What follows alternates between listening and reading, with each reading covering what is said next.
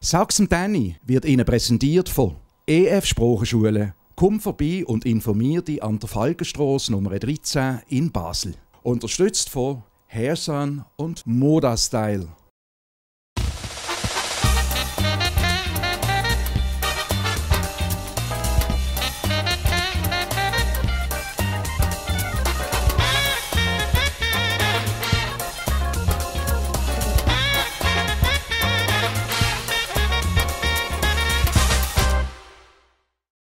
Drei, zwei, eins.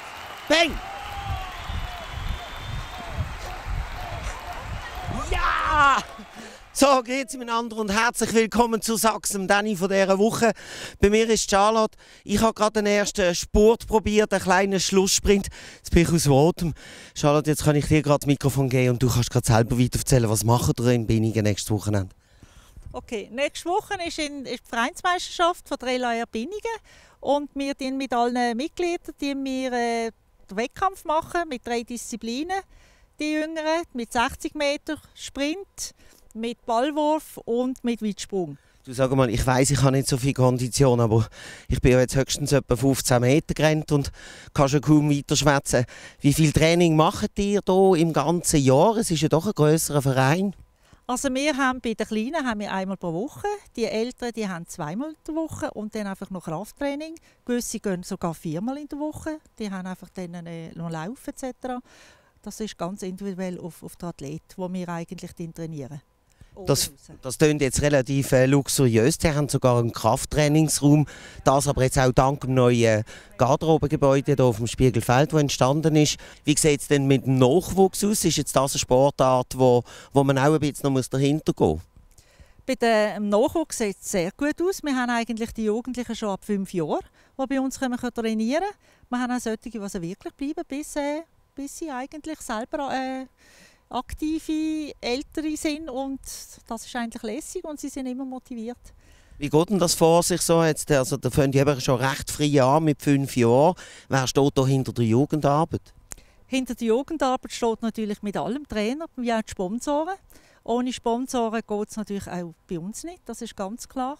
Und äh, dass wir eigentlich die Jugend so können fördern können, sind wir eigentlich auf Sponsorensuche.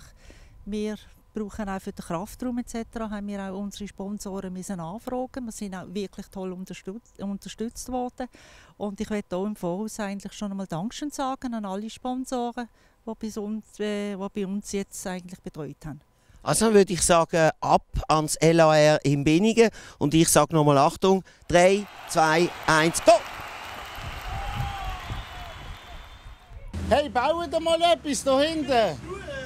Ja, aber es ist immer das Gleiche. So, jetzt sind wir am nächsten Ort. Ich bin in einem ganz lauschigen Plätzchen gelandet. Ähm, Pascal Schnitzgewackis, warum hier im Sommer schon bauen? Hallo? Also wir haben keine Bodenheizung auf dem Wagen und darum haben wir gesagt, wir bauen im Sommer durch. Und wir wissen sonst schon alles und so. Und wir sind voll dran, wie ihr gesehen im Hintergrund.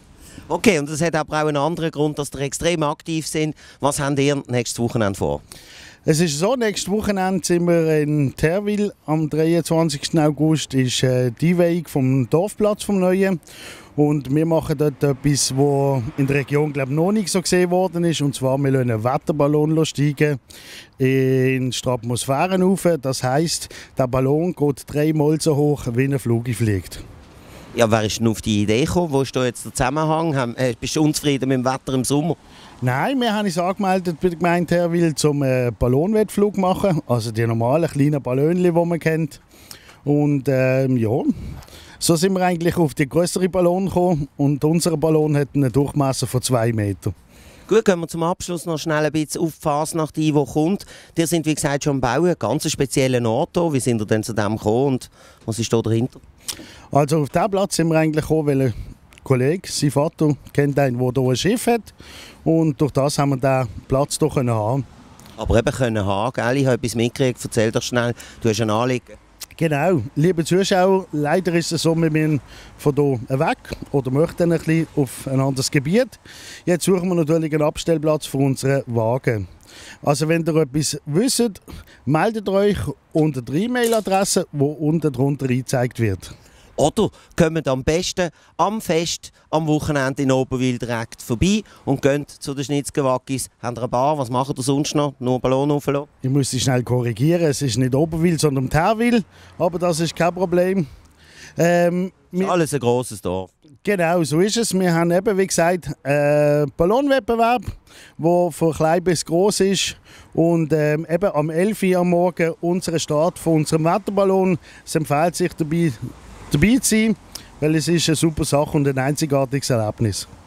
Und wir sind in Muttens angelangt und zwar bin ich einmal mehr wieder der Rattenfänger nachgegangen. Bei mir ist der Dani Wermüller. Dani, ist das richtig? Ich glaube, das 25. Jahr sind ihr auf Tour, oder? Das ist genau so, jawohl. Das ist unsere Jubiläumsproduktion. Und für das haben wir einen neuen Spielort gewählt. Das ist nämlich auch immer etwas Spezielles bei den Rattenfängern. Da weiß man nie genau, was sie sich aussuchen. Aber es hat auch immer ein bisschen mit dem Dekor, glaube ich, verstückt zu tun. Was werden ihr dieses Jahr bringen? Wir spielen den Sommernachtstraum. Also wir probieren ja jetzt seit 25 Jahren Sommernachtsträume zu realisieren. Und jetzt haben wir ein Stück, das genau so heißt, von William Shakespeare, der große Klassiker. Und da ist der Spielort, den wir hier haben, mit dem Wald im Hintergrund, mit einer großen offenen Fläche, natürlich wie geschaffen dafür ein berühmtes Stück, das ihr euch ausgesucht habt. Viele Leute kennen den Namen. Eine Kurzfassung davon. Ich bin mir nur noch gewahrt, dass der Puck mitmacht, glaube ich, durch das Ganze viert. Vielleicht kannst du das ein bisschen verbröseln. Gut zuhören. Jawohl, also der Puck, das ist ein Elf. Und es hat zwei Welten in diesem Stück. Es gibt die Elfenwelt und es gibt die realistische Welt.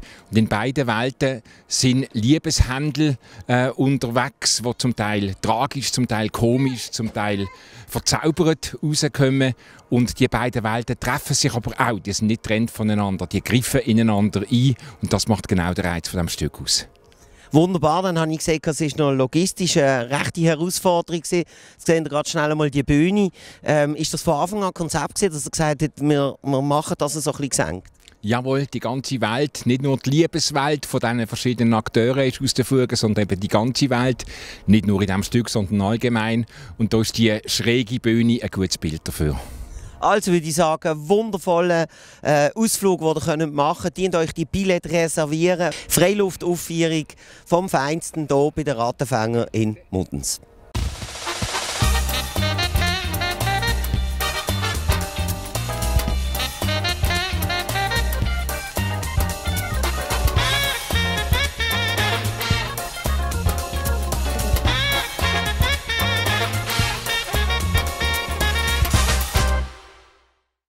Sachsen Danny ist Ihnen präsentiert worden von EF Sprachenschule. Komm vorbei und informier dich an der Falkenstrasse Nummer 13 in Basel. Unterstützt von Hairsun und Moda Style.